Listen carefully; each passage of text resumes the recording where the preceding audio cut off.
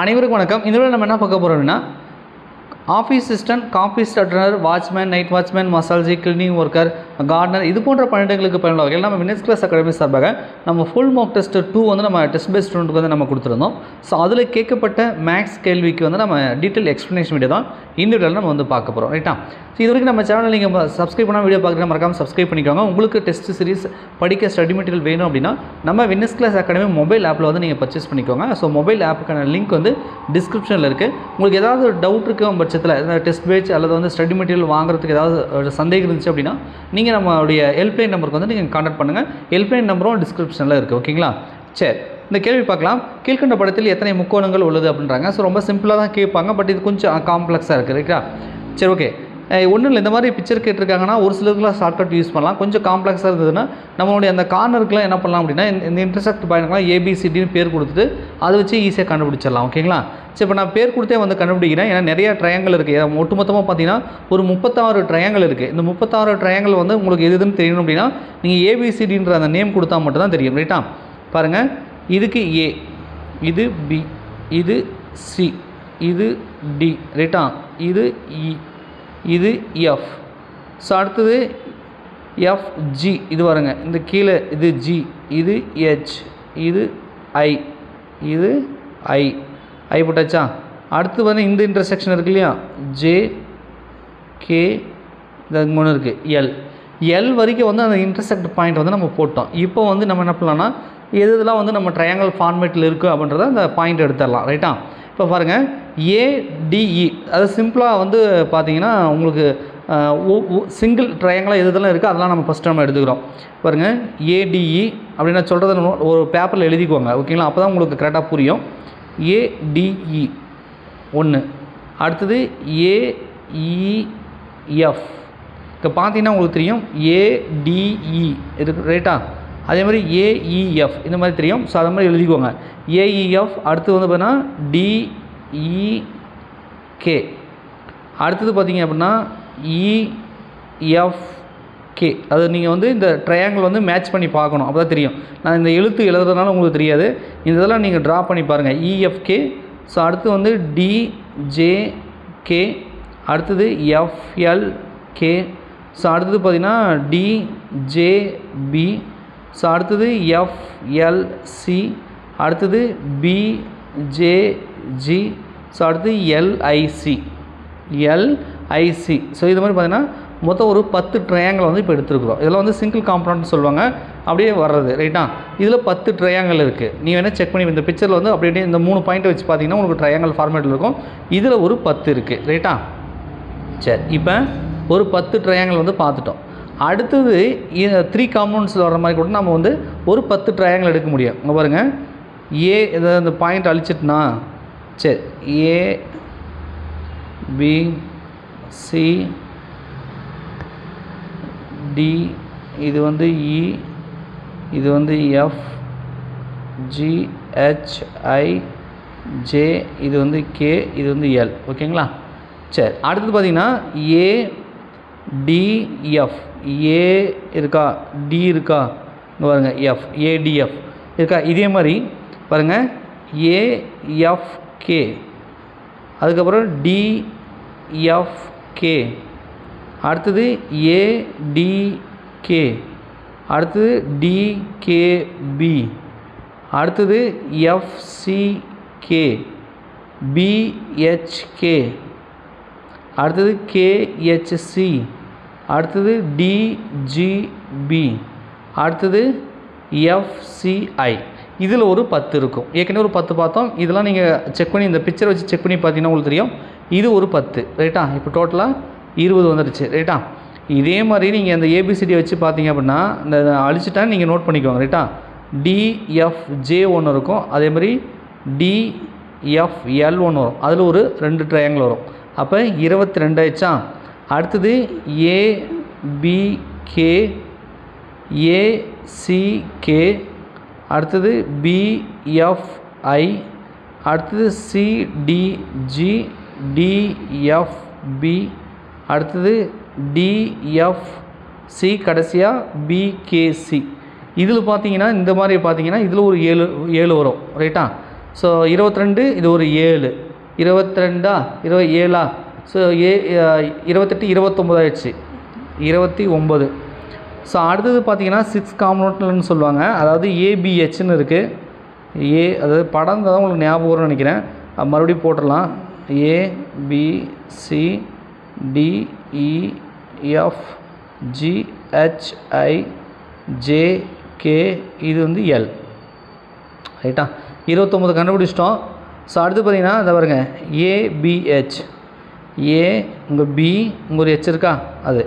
ABH ACH ABF ACD BFC CD B இது ஒரு ஆறு ட்ரையாங்கல் வரும். ஏற்கனவே இருபத்தொம்போது இது ஒரு ஆறு. இருபத்தொம்போது ஸோ உங்களுக்கு முப்பது முப்பத்தஞ்சு முப்பத்தஞ்சாயிடுச்சா? கடைசியாக ஒன்று என்ன அப்படின்னா அதை ஏபிசி அதெல்லாம் எல்லாம் சேர்த்து நம்ம பெருசாக பார்க்குறோம் இல்லையா? இது.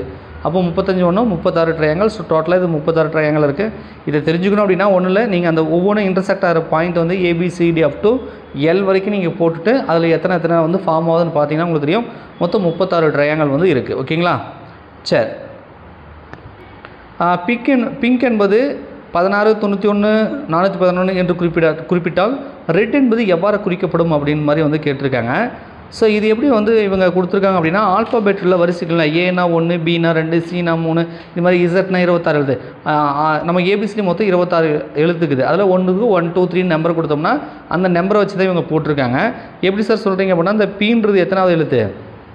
பீன்றது பதினாறாவது லெட்ரு ரைட்டா அதே மாதிரி இந்த ஐன்றது ஒன்பதாவது லெட்ரு இந்த என் அப்படின்றது பார்த்தீங்கன்னா பதினாலாவது லெட்ரு கே அப்படின்றது பதினோராவது லெட்டராக இருக்கும் அந்த ஏபிசிடி வரிசையில்.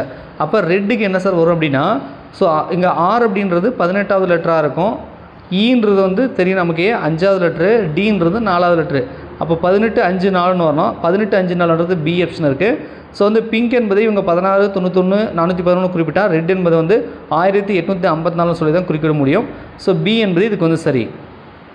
அடுத்தது ராமன் கூறுகிறார் அனுஜோட அம்மா எனது அம்மாவின் ஒரே மகள் என்று கூறினால் அனுஜ் என்பவர் ராமனுக்கு என்ன உறவு? அப்படின்னு மாதிரி கேட்குறாங்க ஸோ இதுக்கு நம்ம என்ன பண்ணலாம்னா அனுஜ்னு ஒருத்தர் இருக்காங்க ரைட்டா அனுஜ் அப்படின்னு இருக்காங்க அவங்க அம்மா ஒருத்தர் இருக்காங்க ரைட்டா சரி அவங்க அம்மா அனுஜோட அம்மா.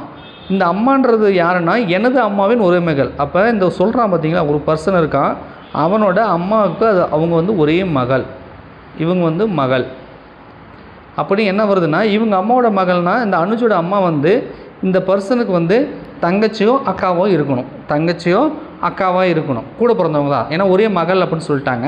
ஸோ அதனால் வந்து கூட பிறந்தவங்க. ரைட்டா அக்காக்கெல்லாம் தங்கச்சியாக இருக்கலாம் அவங்களோட பையன் தான் இந்த அனுஜ் அப்படின்றவர். ரைட்டா அப்போ நம்மளுடைய அக்காவோட பையன் அப்படின்னு வரும்பொழுது நாம் தாய்மாமன் முறையில் வருவோம். ஸோ அவனுக்கு வந்து நம்ம அவன் வந்து நமக்கு என்ன முறை அப்படின்னா நம்ம மருமகன் சொல்லலாம் அல்லது மச்சான் அப்படின்னு சொல்லலாம். ரைட்டா ஸோ அந்த மாதிரி இங்கே என்ன சொல்கிறாங்க அனுஜ் என்பவர் ராமனுக்கு என்ன உறவு பண்ணுறாங்க ஸோ அனுஜ் என்பவர் வந்து பார்த்திங்கன்னா அந்த ப- ராமனுக்கு வந்து பார்த்திங்கன்னா மருமகன்ன்ற உறவு அல்லது மச்சான்ற உறவு ரைட்டா சரி மருமகன். தாய்மாமன்லாம் வந்து அக்காவோட பிள்ளைங்களாம் மருமகனே மருமகனே தான் கூப்பிடுவாங்க.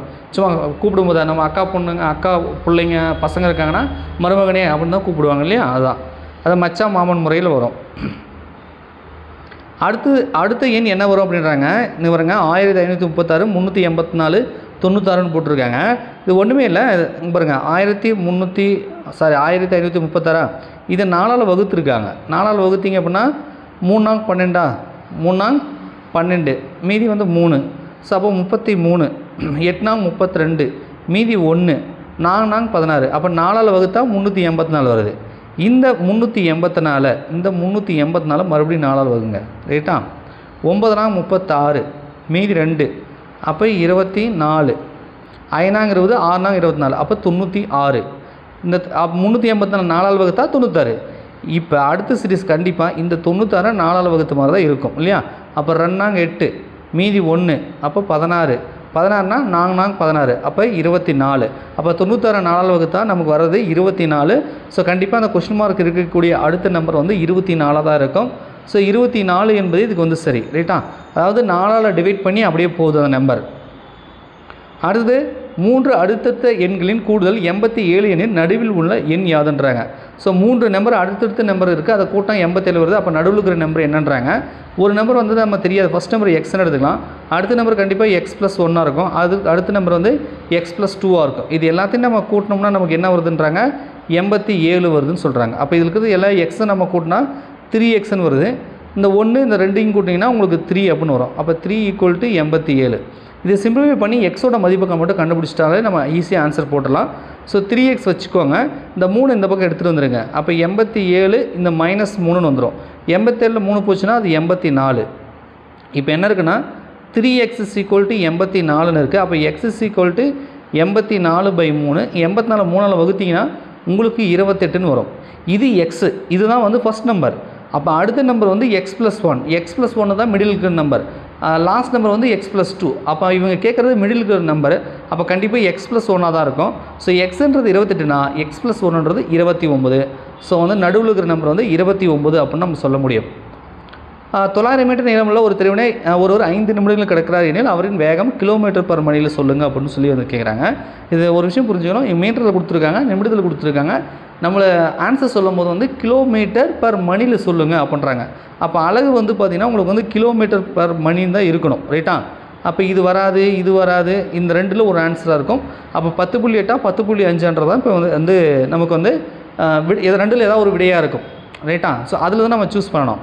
சரி ஓகே இந்த எலிமினேஷன் மெத்தட்லாம் சொல்கிறாங்களே இதுதான். அதாவது ஒரு நாலு ஆப்ஷன் இருக்குன்னா ரெண்டு ஆப்ஷன் வந்து நமக்கு வரவே வராதுன்னு கண்டுபிடிச்சிடலாம். மீதி இருக்கிற ரெண்டு ஆப்ஷன் இருக்கும். ரெண்டில் ஏதாவது ஒன்று நம்ம கெஸ் பண்ணி போட்டாங்கன்னா கூட அது சரியாக வரதுக்கான பாசிபிலிட்டி இருக்குது ரைட்டா ஸோ அதுதான் வந்து எலிமினேஷன் மெத்தட் நம்ம சொல்லுவோம். ஓரளவுக்கு சரியாக வரதுக்கான வாய்ப்பு இருக்குது ரைட் இப்போ பத்து புள்ளி அஞ்சு பத்து புள்ளி எட்டுன்னு கண்டுபிடிக்கணும். ரைட்டா நான் என்ன பண்ணுறேன் அப்படின்னா எல்லாமே வந்து கிலோமீட்டருக்கும் அவருக்கும் கன்வெர்ட் பண்ணிக்கிறேன். ரைட்டா இவங்க தொள்ளாயிரம் மீட்டருன்றாங்க நான் என்ன பண்ணுறேன் அப்படின்னா தொள்ளாயிரம் பை ஆயிரம் அப்படின்னு போட்டுக்கிறேன். ஏன்னா ஆயிரம் மீட்டர்ன்றது ஒரு கிலோமீட்டர். நான் கிலோமீட்டருக்கு கன்வெர்ட் பண்ணிட்டேன்.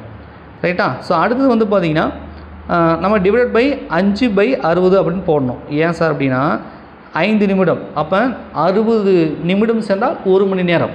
அப்போ அஞ்சு பை அறுபதுன்னு வரும். இங்கே அஞ்சு பை அறுபதுன்னு வரும். அஞ்சு பை அறுபதுன்னு வரும்.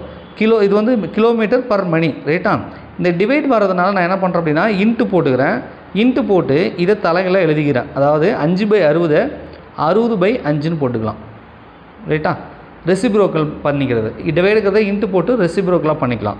ஸோ அறுபது பை அஞ்சு அப்படின்னு வருது. இப்போ இதில் வந்து நம்ம கேன்சல் பண்ணி பார்க்கலாம். ஓகேங்களா ஸோ அப்படி நம்ம கேன்சல் பண்ணாங்க அப்படின்னா அங்கே பாருங்கள் இதில் ஜீரோ இதில் ஜீரோ இந்த ஜீரோ கேன்சல் ஆயிடுது மூணு ஜீரோ இருக்கா? மூணு ஜீரோக்கும் கேன்சல் பண்ணலாம். ரெண்டு ஜீரோ மூணு ஜீரோ அப்போ மீதி என்ன இருக்குன்னா இந்த ஒம்பது இன்ட்டு ஆறு ஒரு அஞ்சு இருக்குது ரைட்டா ஒம்பது இன்ட்டு ஆறு பை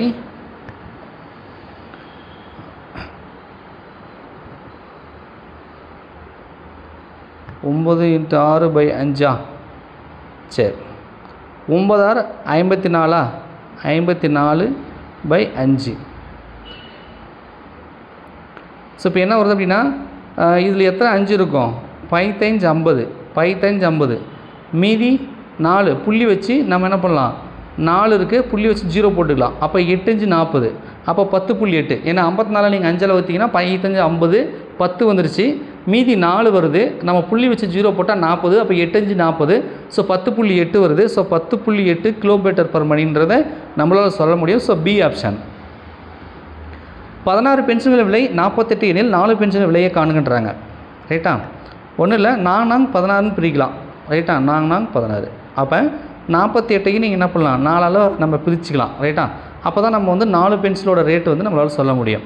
ஸோ அப்போ இது அடிச்சிங்கன்னா ஒரு ரெண்டாங்க எட்டு. அப்போ நாலு பென்சிலோட விலை வந்து பன்னெண்டு ரூபா. நாலு பென்சிலோட விலை பன்னெண்டு ரூபா. இப்போ கரெக்டாக வரும் பாருங்கள் நாலு பென்ஸ் பென்சில் வந்து பன்னெண்டு ரூபா. அப்போ எட்டு பென்சில் அப்படின்னு வந்துச்சுன்னா உங்களுக்கு பன்னெண்டு பன்னெண்டு இருபத்தி நாலு ரூபா. கரெக்டுங்களா அப்போ எட்டு அப்படின்னு வருதா? அப்போ எட்டு எட்டும் பதினாறு. அப்போ நாற்பத்தி எட்டு ரூபா. கரெக்டாக இருக்கா? எட்டு எட்டு எட்டு ப பதினாறுன்னு வருது. அப்படியே ட இருபத்தி நாலு டபுள் பண்ணால் நாற்பத்தெட்டு. அப்போ நாலு பென்சிலோட விலை வந்து பன்னெண்டு ரூபா அப்படின்னு சொல்லி வாய்க்கணக்காகவே போட்டுக்கலாம். இதில் வந்து ஃபார்முலான்னு போட வேண்டியதில்லை. ஸோ வந்து பன்னெண்டு ரூபான்னு வருது e இ ஆப்ஷன் அடுத்த கணக்கு மதிப்பு காண்க. பதினாலு பை ஏழு போட்டு ப்ராக்கெட் போட்டு பவரில் ஜீரோ போட்டு இன்ட்டு த்ரீ போட்டிருக்காங்க. எனிதிங் பவர் ஜீரோ அதாவது ஒரு நம்பர் கொடுத்துட்டு அதுக்கு மேலே ஏதாவது ஜீரோ கொடுத்தாங்க. எக்ஸ் பவர் ஜீரோ அல்லது ஒம்பது power zero anything power zero equal to ஒன்று ரைட்டா ஒரு நம்பரில் பவரில் ஜீரோ இருந்தால் அது வந்து ஒன்று ரைட்டா ஸோ அப்போ வந்து இதனோட மதிப்பு வந்து ஒன்று அப்போ ஒன்று இன்ட்டு மூணுன்னு போட்டிங்கன்னா உங்களுக்கு மூணு தான் வரும். இதை கூட ஆஃபீஸில் இன்ஃபைனைட் டிஃபைனைட் போட்டிருந்தாங்கல்ல? ஒரு கணக்கு ஜீரோ பை ஜீரோ எந்த ஒரு நம்பருக்கு கீழேயும் ஜீரோ வந்தால் அது வந்து இன்டிஃபைனைட் வரையறுக்க முடியாத ஒன்று. இப்போ நீங்கள் இப்போ டூ பை ஜீரோ அப்படின்னு சொல்ல முடியாது. ரைட்டா டூ பை ஜீரோனா அது வரையறுக்கப்படவில்லை இன்ஃபைனைட் அப்படின்ற மாதிரி நம்ம சொல்லுவோம்.